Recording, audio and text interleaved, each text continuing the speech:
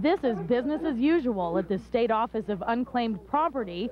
Their most recent acquisition, bats, and lots of them. It's been very nerve-wracking for everyone, especially when they come flying down the hall and right at your head and you just duck down to the ground or you run in your office and slam the door. I have never really seen a bat in the downtown area until last Friday. Didn't know they were around.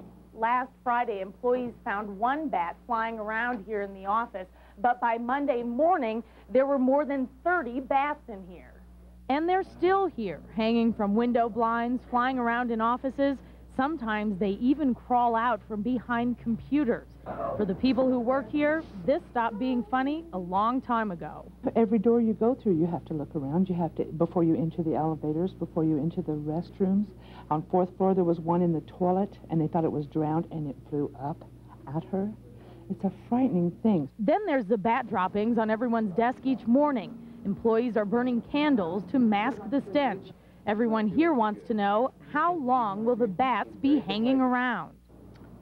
Depends on how many bats you have and where they're at.